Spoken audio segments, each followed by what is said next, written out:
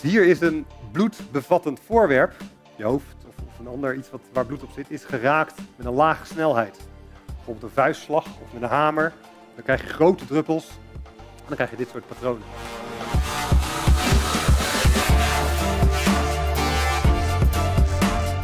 Waarom kunnen bloeddruppels je bijna alles vertellen over een moord? De Universiteit van Nederland presenteert forensisch biofysicus professor Dr. Maurice Alders.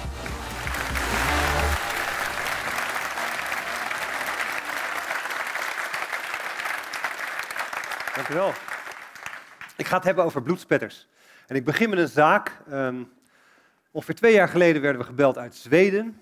Daar hadden ze bloedspetters gevonden en ze hadden onze hulp nodig. Maar dat begint eigenlijk veel leuker. Er was een, eh, ehm, zaak, Marina was een hele bekende dame in Zweden, een hele rijke dame. Ze had een groot landhuis en ze organiseerde daar allerlei feestjes, ehm, bizarre feestjes soms. Eh, en op een gegeven moment was ze weg. Het was echt een celebrity, dus dat was een, een hele grote nationale zaak in Zweden. Marina.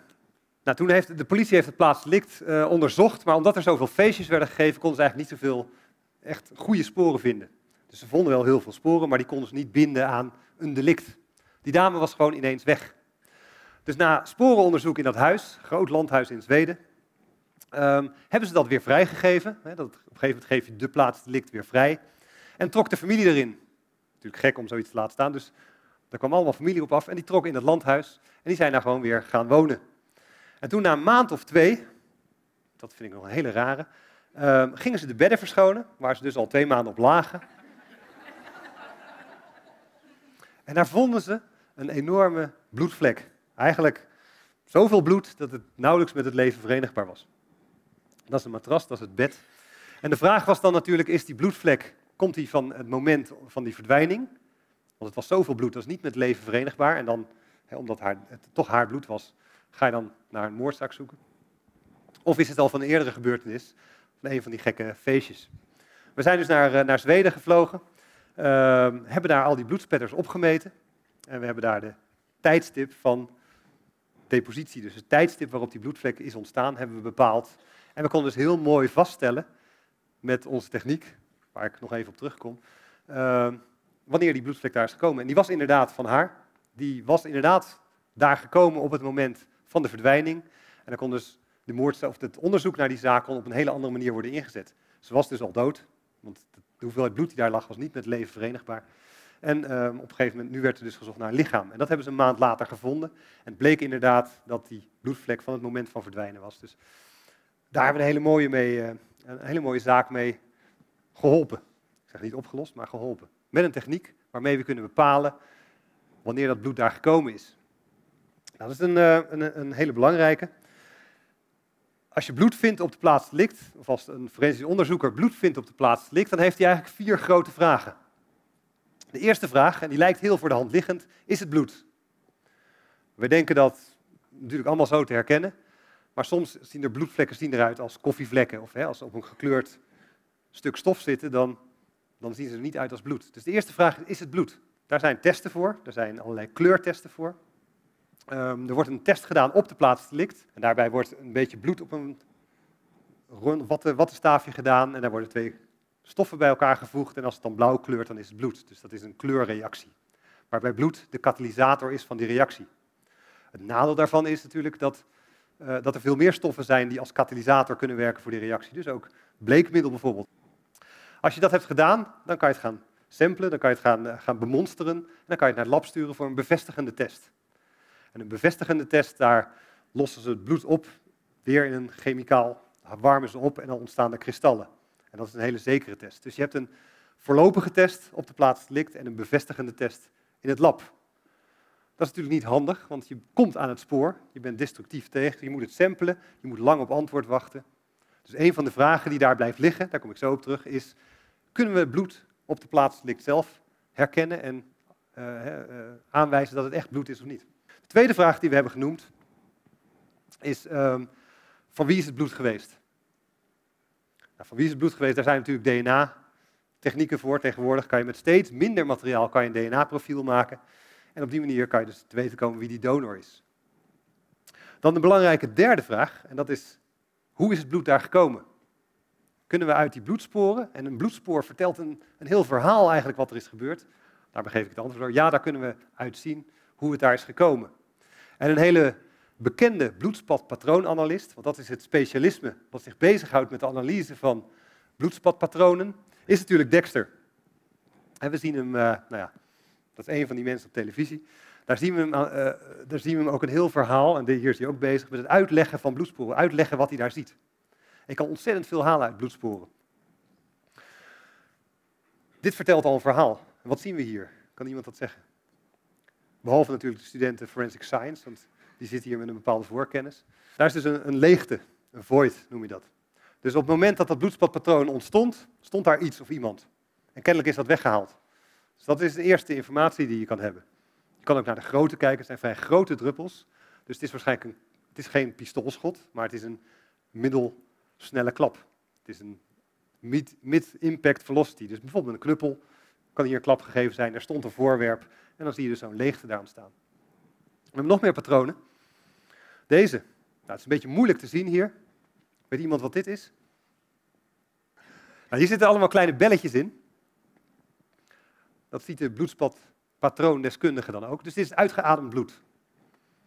Dus dat is een, wanneer er bloed in je mond zit of in de luchtpijp, bijvoorbeeld luchtwegen, dan wordt het uitgeademd.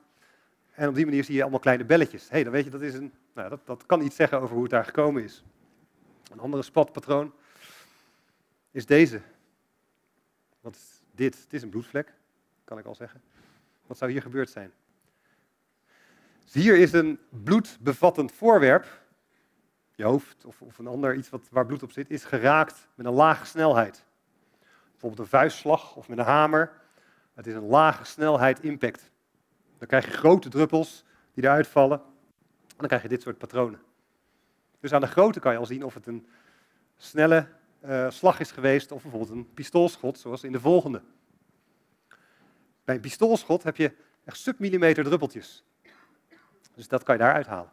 En dat kan alleen bij een, bij een, een, schot van een, uh, met een kogel. Dus een hele hoge impact, verlost, een hele hoge snelheid van impact in een bloedbevattend lichaam.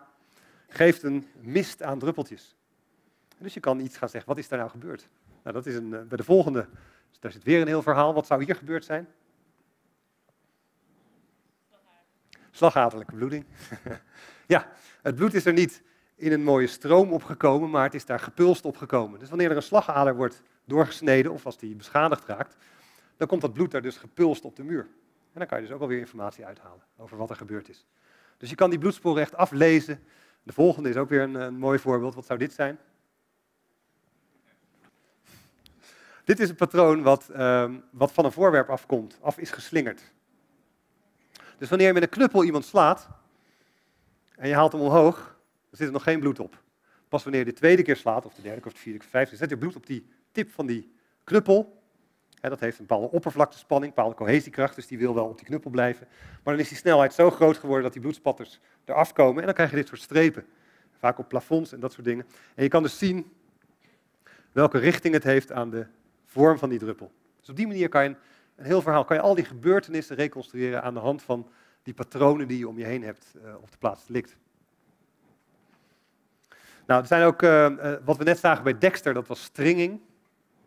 En stringing, ehm, nou, als, ik, als ik gewoon zo loop en er druppelt bloed, of als ik, als ik gewoon zo sta en er druppelt bloed van mijn hand af, dan valt het rechtdoor naar beneden en dan geeft het een hele mooie ronde vlek. Een passief vallende druppel. Als ik ga lopen, dan komt het dus met een hoek op de grond en dan worden het ovale vormen. Hier is een passief vallende druppel uh, in beeld. Dit is, dit is materiaal van, uh, van het mobiel forensisch team van het Nederlands Forensisch Instituut en de Universiteit van Amsterdam. Daniel Bon, die zijn heel hard bezig met het onderzoeken hoe druppels op de plaats ligt, uh, of op een, op een bepaalde voorwerp terechtkomen. Maar uit die vorm, uit die ovale vorm, kan ik halen welke hoek, met welke hoek een bepaalde druppel op een muur is gekomen. Als ik een, dat is de, nou ja, als een, hoe groter de hoek waarmee een druppel op de op de muur komt, hoe ovaler die wordt.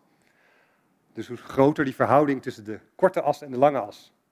Daar is allemaal een vuistregel voor, maar uit daaruit, uit die verhouding van die twee assen, kan je de hoek bepalen waarmee die druppel op de muur is gekomen. Dus wat een bloedspatpatroondeskundige dan doet, die kijkt naar die druppels, die meet het op en die spant een touwtje van de bloeddruppel met die bepaalde hoek die hij heeft gevonden naar, nou, naar een, een, een, locatie ergens in de kamer. Dat doet hij dan van alle druppels en op de locatie waar die touwtjes, die strings overlappen, dat is dan de plek waar is geslagen. Dus op die, die manier kan je allerlei informatie uit de, uh, uit de bloeddruppel halen. En nou, wat er dan nog mist is eigenlijk het echte reconstructie van de baan, de ballistische baan. Daarvoor moet je de grootte van de bloeddruppel kennen en de snelheid van de bloeddruppel. En wat deze onderzoekers proberen te doen, is uit de vorm van die bloeddruppel zoals hij daar neerkomt. Het is een hele gekke vloeistof bloed. Het is viscoelastisch en niet Newtoniaans. Dus het, is, het heeft verschillende, verschillende stroperigheid onder verschillende druktoestanden. Ontzettend lastig probleem dit. En er zijn nu allemaal mensen in de complexe vloeistofdynamica bezig om te zien hoe die druppel daar eigenlijk valt. Hoe voor de hand liggend probleem het ook lijkt. Maar ze proberen dus te kijken of ze aan die druppel zoals die hier nu achterblijft, of ze daar het volume uit kunnen halen. En uit dat volume kan je dan de luchtweerstand halen. En dan kan je die baan, anders dan Dexter deed met zijn strakke touwtjes, kan je veel beter reconstrueren. En kan je dus veel nauwkeuriger dat point of origin, het punt waar die klap is gegeven, bepalen. Dus dat is de grootte en de vorm van de druppels. Heel mooi onderzoek. Het laatste wat we hebben, de laatste vraag eigenlijk die we nog moeten behandelen is, wanneer is het bloed daar gekomen? Het tijdstip van wanneer het bloed, wanneer het bloed uit het lichaam is gekomen. Die kan iets zeggen over wanneer een misdaad gepleegd is. Nou, wat we allemaal weten van bloed, is dat het verkleurt in de tijd. Als het bloed vers uit het lichaam komt, dan komt het in contact met zuurstof, dus het oxygeneert. Je hebt een, een, het wordt heel mooi helder rood. En dan komt het op de muur. Dat is oxygenatie. Als het dan een tijdje op de muur is of een tijdje buiten ons lichaam is, dan gaat het verkleuren. Ik denk dat het allemaal wel weten, het wordt bruin. En dat is oxidatie van die bloedvlek. Er zit ijzer in en dat, het roest eigenlijk gewoon. Dus die bloedvlek die op de muur zit, die roest heel langzaam. En daarna heb je de geroeste vorm van bloed, dat noemen we met hemoglobine. Dus de helderrode de kleurstof in ons bloed, dat is hemoglobine.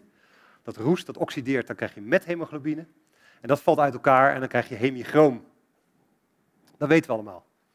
Maar met het blote oog is het nog steeds heel lastig te zien hoe oud die bloedspetter nou is, als die bloedspat nou is, als we hem aantreffen.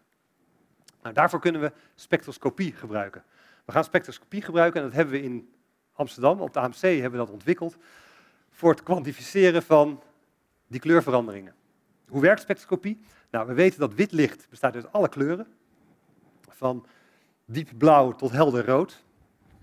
Um, en dat gebruiken we voor het kleurenzien. Spectroscopie gebruiken we eigenlijk voor het kleurenzien. Dat is het, niet meer dan dat. Dus we kijken bijvoorbeeld naar dit, dit rode vlak hier. Het wordt beschenen met wit licht en toch zien wij dit als rood.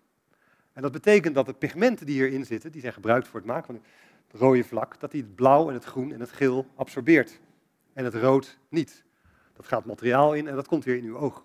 Dus u ziet het als rood. Dus die pigment absorbeert bepaalde kleuren in bepaalde mate. En dat is heel specifiek voor een pigment. Nou heeft het oog eigenlijk maar drie gevoeligheidsgebieden, dus dat, daarmee kan je niet zoveel doen. Maar het hele spectrum, als we naar het, alle kleuren in ons spectrum kijken, en we kunnen meten hoeveel er van elke kleur wordt geabsorbeerd, krijgen we een heel specifiek profiel voor een bepaald pigment. Dus eigenlijk een profiel die aangeeft hoeveel van elke kleur er wordt geabsorbeerd. En dat is heel specifiek voor een, voor een bepaalde pigment, zoals deze verf of bloed. Bloed heeft ook een heel specifiek absorptiespectrum. Als we het nou omdraaien, als we kunnen, dus kunnen meten hoeveel van elke kleur er wordt geabsorbeerd, dan weten we dus wat er op die muur zit. Of dat dit deze pigment is of bloed is. Nou, dat doen we met spectroscopie. Heel simpel ook, heel makkelijk uit te leggen.